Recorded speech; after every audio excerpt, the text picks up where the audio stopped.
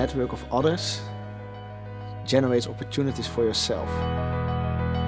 By developing yourself next to your studies, you can find out who you are, what gives you energy, and what you find important in a job.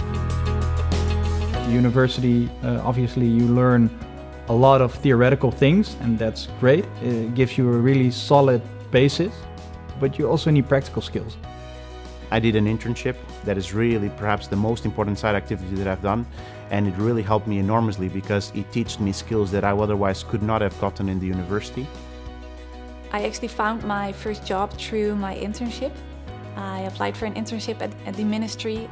After six months, I had the luck that they needed someone to stay over there in their team and I could stay there for my first job. Well, I found my first job at Ahold through the Economic Business Weeks. So I met them during a lunch there and I was directly convinced that it could be my future employer. If there is an event in your faculty, uh, just go there, network with people, but also dare to speak up to people, dare to interact with people so that people will remember you. Try to find something that sets you apart from the crowd. Find something that really helps you get ahead try to explore and take risks at this moment in life because this is the right moment to take those risks. In the days of today, it's, it's very difficult to actually stick to a specific plan because the world is changing at a constantly faster pace.